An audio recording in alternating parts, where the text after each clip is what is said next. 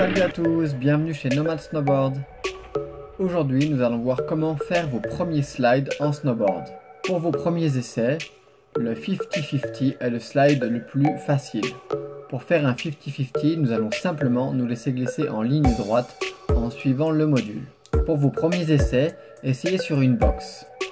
Une box suffisamment large et pour laquelle vous n'avez pas besoin de faire de ollie en entrée. L'objectif va être de glisser en ligne droite avec la planche le plus à plat possible. Attention car une fois sur la box, vous ne pouvez absolument pas utiliser vos quarts, que cela soit pour freiner ou changer de direction. Si nécessaire, il est plus prudent de se laisser sortir.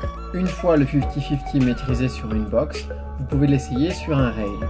L'idéal est de trouver un rail pour lequel vous n'avez pas besoin de faire de ollie en entrée. Durant la phase de glisse, essayez de garder une attitude de base bien basse. De cette manière, vous aurez plus d'équilibre. Une fois que vous maîtrisez le 50-50, vous pouvez varier les modules. Pour les box et les rails nécessitant un ollie à l'entrée, vous allez devoir appliquer la technique du ollie expliquée dans le tutoriel précédent.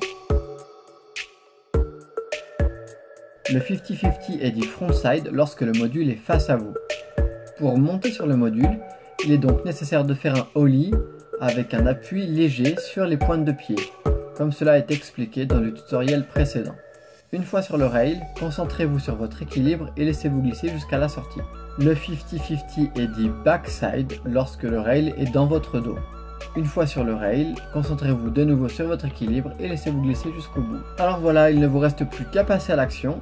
Si jamais ce tutoriel vous a plu, faites-le savoir en likant la vidéo ci-dessous. Et quant à moi, je vous dis à tout bientôt pour le prochain tutoriel de Nomad Snowboard. Salut